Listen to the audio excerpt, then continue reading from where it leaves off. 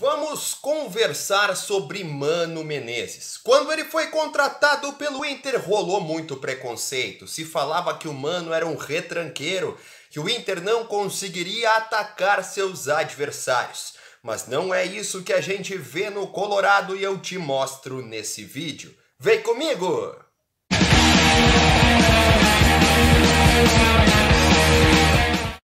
Fala aí, meu povo! E aí, tudo bem? Marinho Saldanha por aqui mais uma vez para mais um vídeo do canal e o assunto é Mano Menezes e diga não aos preconceitos, os números e o campo mostram que quem rotulou o técnico de retranqueiro estava errado e é sobre isso que nós vamos conversar neste vídeo. Mas antes disso eu quero te agradecer pela força aqui no canal. Rompemos a barreira de 5.500 inscritos há muito tempo. E se você não é um desses que está recebendo conteúdo sobre o Inter diariamente, te inscreve no canal, já aciona o sininho de notificações para o YouTube te avisar dos próximos vídeos. E se você fez tudo isso, me dá aquela força e já deixa o teu like. Bora então pro vídeo do Internacional, primeiro com alguns gols que te mostram ações ofensivas do Internacional.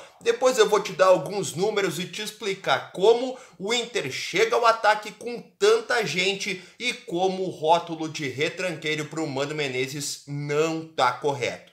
Repara aí, 4, 3, 5 jogadores dentro da área, jogadas construídas, ações ofensivas. E depois eu te explico os números que refletem essas atitudes.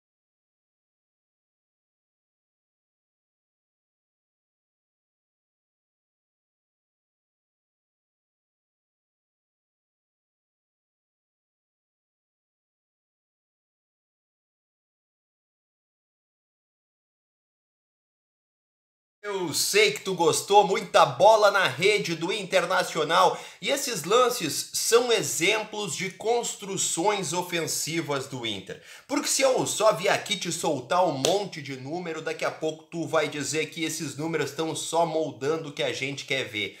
Mas não é isso. Os exemplos que tu viste agora há pouco aqui no vídeo só reforçam como o rótulo de retranqueiro não é 100% verdade para o Mano Menezes. O próprio Mano disse que monta seus times de acordo com o que ele tem na mão.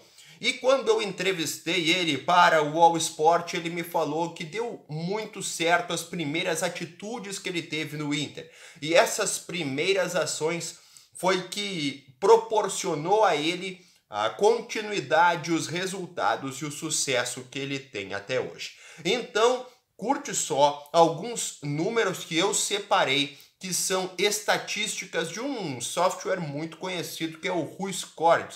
Ele é utilizado por grandes clubes, ele é utilizado por scouters, por analistas de desempenho para avaliar e desenhar os comportamentos e os padrões dos times. Vamos lá! Vamos começar pelo básico, e se eu estiver olhando para baixo é porque eu estou na minha colinha aqui, viu? O Internacional marcou 44 gols neste campeonato brasileiro em 29 rodadas até agora. O Internacional nisso tem um aproveitamento ofensivo bem interessante. E olha só como os gols do Inter nasceram. O Internacional é o terceiro time do Brasileirão com mais gols de jogadas criadas. O que, que isso quer dizer?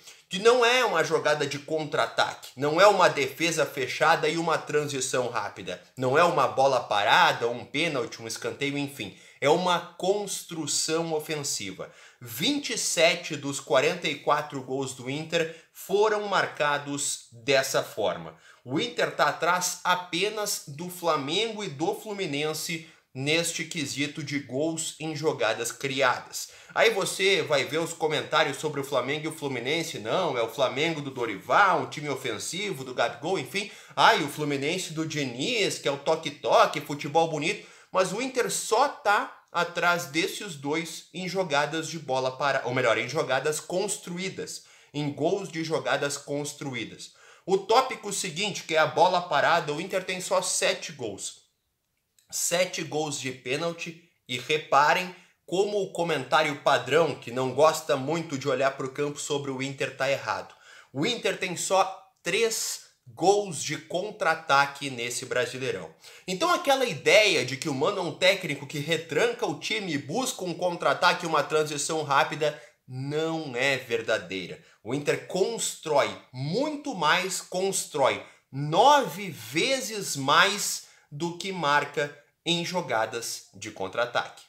Dando mais alguns detalhes sobre a construção do Inter, o Colorado prefere atacar pelo lado lado esquerdo. Não é Fabrício Bustos que dá aquela chegada ofensiva tão boa, ainda que ele seja um jogador muito ofensivo. É o lado do Wanderson e também do Pedro Henrique que concentra as maiores jogadas do Inter. São 40% das jogadas criadas pelo lado esquerdo enquanto o lado direito tem apenas 35% das jogadas. Mas fica claro que o Inter constrói muito pelos lados. O centro de campo constrói apenas 25% dos lances, que é um quarto, mas é menos do que os dois lados isoladamente. Mas ainda que construa suas jogadas pelos lados, o Inter conclui por dentro, conclui do centro, não costuma chutar bolas em diagonal o Inter conclui 63% de seus ataques do centro, do meio, ou seja, cria pelos lados, conclui do centro. A maior parte das jogadas construídas pelo Inter termina dentro da área. O Inter chuta 57% das vezes de dentro da área. Tem um aproveitamento bem interessante por aí. É um time que não é um dos que mais chuta no brasileiro, tem uma média próxima de 13 conclusões por jogo, mas tem um aproveitamento no gol muito bom. Coloca a bola em média cinco vezes no gol por partida, certo gol. Chutes na direção do gol. Neste quesito, o Inter é o terceiro colocado também entre todos os times do Brasileirão. 34% das jogadas ofensivas são concluídas de fora da área. E tem mais um dado apenas que eu quero te trazer aqui neste vídeo que mostra como o Inter não é um time retranqueiro, não é um time defensivo. O Internacional concentra a maior parte do seu jogo, mais de 40% da sua posse de bola, entre a sua intermediária e a do adversário, não no seu último terço, nem no último terço do adversário. Mas presta atenção para o jogo do Inter no seu ofensivo, no seu campo ofensivo. O Inter condiciona 28% da sua posse de bola no campo ofensivo. E aqui eu te pergunto, para ti que está me assistindo, qual o time que mais fica no campo de ataque entre todos do Brasileirão? Chuta aí. Eu acho que tu já está pensando que é ele, né? O Fluminense. E o Fluminense fica mais que o Inter no campo ofensivo. Adivinha quanto?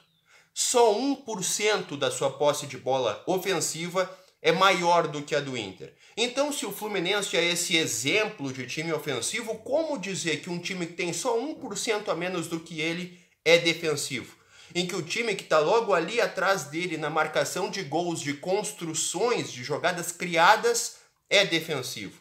Não é o caso. Os números mostram o rendimento comprova. O Inter não é um time retrancado, é um time que também propõe e que se acostumou a propor com a sequência do trabalho do Mano. Eu sei que tem gente que tá vendo esse vídeo e dizendo assim, mas então como é que o Inter não se classificou na Sul-Americana? Não conseguiu vencer o Melgar? Ainda que tivesse criado várias chances, não conseguiu sair do 0 a 0 e perdeu nos pênaltis? Eu te explico. Primeiro, porque naquele momento da construção de um grupo do Inter, ele não estava tão firme assim. E o Mano até foi polêmico, mas eu acredito que verdadeiro ao dizer que o Inter não estava preparado para ser campeão. Não estava tão firme assim o conceito de futebol ofensivo naquele momento. Lembra que o Mano pegou um time todo quebrado do Medina, que não conseguia jogar nem no ataque nem na defesa, e deu uma estabilizada bem boa ali o Inter, de acordo com o Mano, ideia com a qual eu concordo, não estava pronto ainda como está agora e como vai estar tá ainda mais no ano que vem. Tem outra razão que seria que o Inter chegou na frente, teve chance de gol, no primeiro lance já teve, logo em seguida teve de novo, falhou ao colocar na rede. E uma terceira razão é porque o futebol é assim, né? Se ganha, se perde, se empata, já dizia o sábio, né?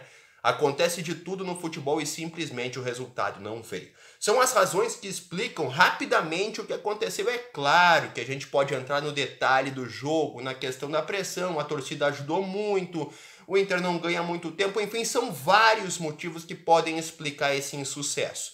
Mas esses três são simples e são rápidos. Resumindo nesse vídeo, eu te mostrei com números e lances como o Inter não é um time retrancado. Joga um futebol, se não o mais ofensivo, um futebol estável e um futebol bastante equilibrado, graças ao bom trabalho do Mano Menezes. E daqui a pouco eu volto com mais vídeos aqui no canal. Tchau!